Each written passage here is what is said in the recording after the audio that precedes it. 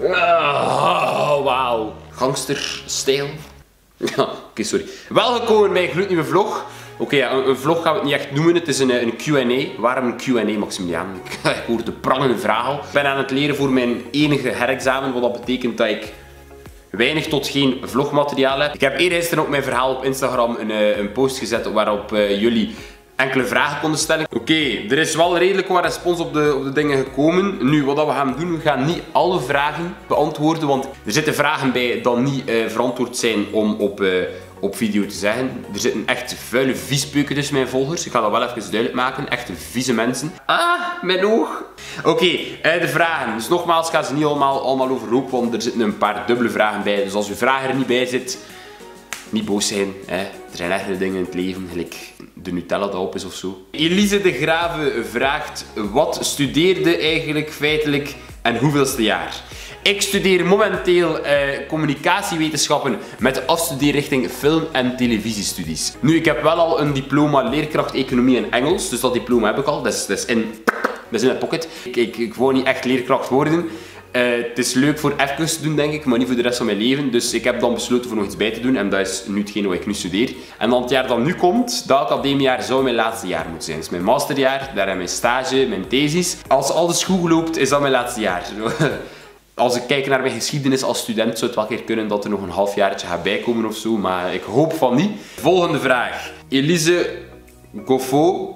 Het spijt mij ook als ik hier namen verkeerd ga uitspreken. Ik ben daar belachelijk slecht in. Uh, Elise vraagt, heb je niet liever een hond dan een kat? Ah wel, eigenlijk nee. Ik zou het wel ook wijs vinden om een, om een hond te hebben, maar katten vind ik ook super chill. Je kunt die zo vrij gemakkelijk oppakken en zo op je schoot pakken. En je kunt die zo tegenhouden dat ze niet weglopen. Maar mijn ouders hebben vroeger alle twee uh, honden gehad. Mijn papa had een Ierse wolfshond. Dat, dat vind ik echt oh, wauw. Als ik ooit een hond zou pakken, dan zou het die zijn. Maar ik vind katten eigenlijk chiller. Het is compacter. Um, de Wale Carlien vraagt hoe lang studeer jij al? Dat is nu al een, een solide zes jaar. Uh, en het gaat uiteindelijk zeven jaar in totaal zijn. Dus dan heb ik wel twee diploma's. Hè. Even vooral duidelijkheid. Ik ben geen zeven jaar bezig aan één diploma. Hè.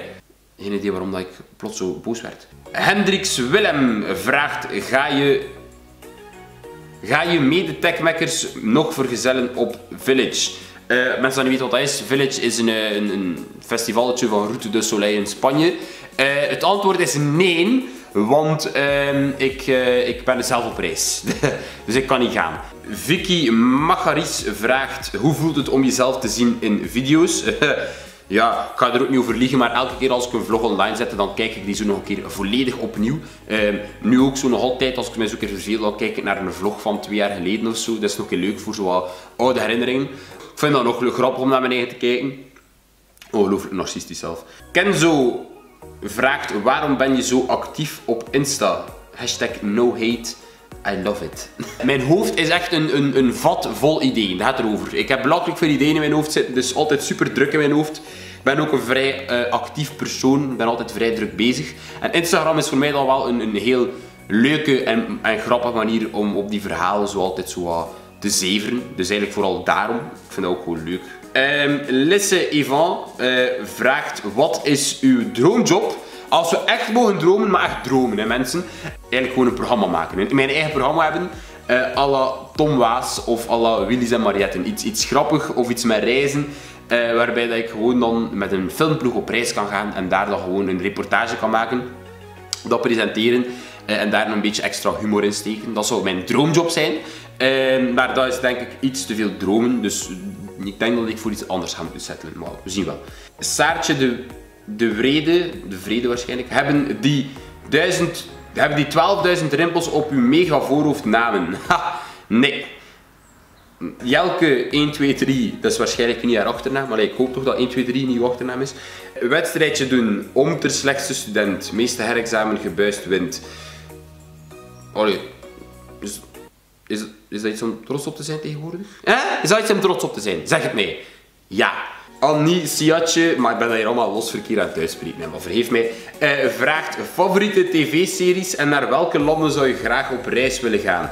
Uh, favoriete tv-series? Ik ben momenteel bezig aan The Boys. Vind ik echt een topserie. Uh, als je niet weet over wat het gaat, Het is een, een, een speciaal perspectief op uh, superhelden. Komt erop neer het, het uh, superhelden bestaan. Maar alles rond de superhelden wordt gecommercialiseerd. En dan is er één bepaald groepje mensen die uh, alles aan gaat doen om die superhelden um, ja, eigenlijk gewoon dood te doen. Dus, en je volgt dan die groep gasten niet de superhelden dood doen. Dus ik vond dat wel een keer een leuk perspectief om dat zo keer zo te volgen. Ezra Vermeers vraagt waarom zoveel tijd. ik ben de definitie van een, uitsteller. Echt, uh, ik ben wakker geworden om 8 uur vandaag. Het is 5 voor 11 en ik heb uh, twee pagina's geleerd van mijn samenvatting. ik ga waarschijnlijk minder lachen als ik mijn examen krijg, maar zo. Ralf van Damme, die jongen, uh, is de next big thing op, op radiovlak. niet om, om, om te slijmen, dat is mijn, mijn opinie. Ralf vraagt dus, waarom noemt je jezelf geen influencer? Waarom? Uh, ik vind vooral omdat dat het laatste jaar een vrij negatieve bijklank heeft gekregen. In mijn ogen zijn influencers die soort mensen die op hun Instagram alleen maar, maar echt letterlijk alleen maar reclame posten. Alleen maar reclame, reclame, reclame. Het maakt niet uit van wat. Um, bijvoorbeeld van die Fit Tea-zever of van die Makutonde Witter van die zever. Echt gewoon alles wat ze krijgen van deals en daarom al opsmijten. Dat zo, dat is in mijn hoofd een influencer. Dus ik wil niet echt aan die term gelinkt worden, want voor mij is Instagram ook nog altijd een bepaalde manier om mensen te proberen laten lachen. Ik zeg wel proberen. Uh, en af en toe natuurlijk een keer zo een business deal, maar dat kan ik jullie wel al verzekeren. Ik ga nooit een business deal doen met, met een bedrijf waarvan dat ik zeg van... wat was dat? Influencer vind ik gewoon geen leuke term voor te beschrijven wat ik doe. Snap je? Jason van Loken vraagt, supporter je voor een voetbalploeg? Nee, ik haat voetbal. Echt, ik haat het. Uh, tot en met vorig jaar wist ik zelf niet eens hoe dat buitenspel werkte. Echt letterlijk de enige keer dat ik naar voetbal kijk is als de Belgen spelen. Daarnaast echt... Dat is volgens mij een chromosoom dat ik als man heb gemist. Voetbal. Ik ga niet naar kijken. Totaal niet. Behalve als de Belgen spelen. Lotje Proot. als je één O uit je achternaam haalt, dan heb je Lotje Prot. Ik ben 24 jaar. Uh, vraagt hoe gaat het nog met Luna. Met Luna gaat alles goed. Ze is nog altijd volledig doof. Ze is uh, momenteel op avontuur buiten.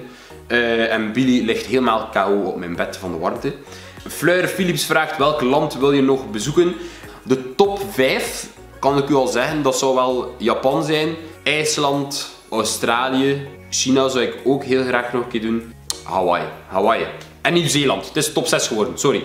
Die landen wil ik heel graag nog een keer doen. Uh, ja, ik kan uw naam echt niet uitspreken. MXR, maar ik ga het ook niet aan beginnen.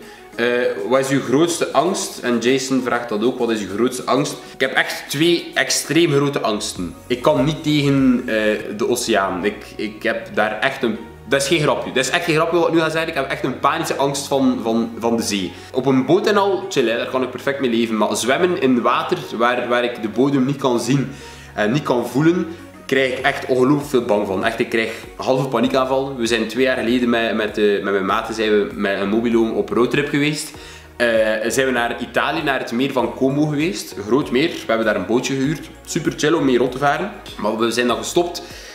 En we zijn in het water gesprongen. Ik heb dat gedaan. En onmiddellijk ben ik hyperventileren. Onmiddellijk terug in een boot. Ik weet niet, er is iets in mij kom daar niet tegen. Zo tegen die onwetendheid van niet weten van wat er allemaal onder u zit en, en wat er allemaal onder u kan gebeuren. En die zee, gewoon het feit dat... dat ah, ik dacht iets van 80% van, van, van de oceaan is nog niet ontdekt. Dus we weten zelf nog niet eens wat, wat voor beest dat er allemaal zit. En voor hetzelfde geld...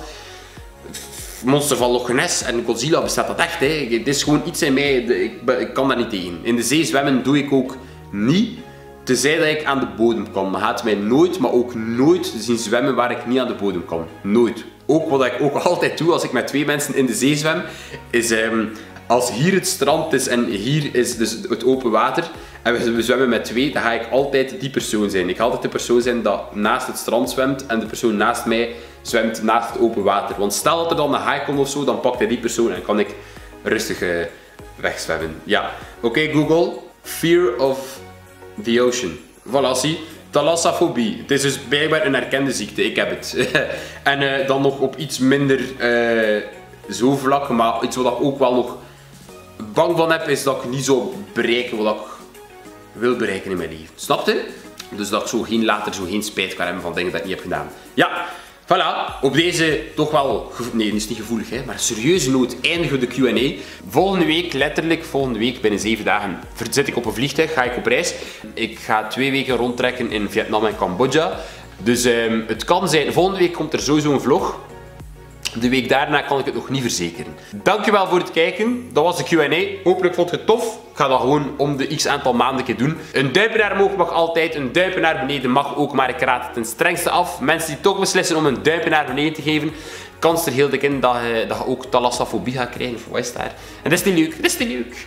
Uh, subscribe maar ook altijd. Krijg je melding van elke nieuwe video die er aankomt. En dat is volgende week woensdag. En dan zie ik jullie terug in een volgende vlog. Ja, uh, tot dan.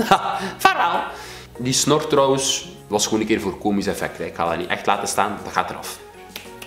Ja, geen idee wat ik doe.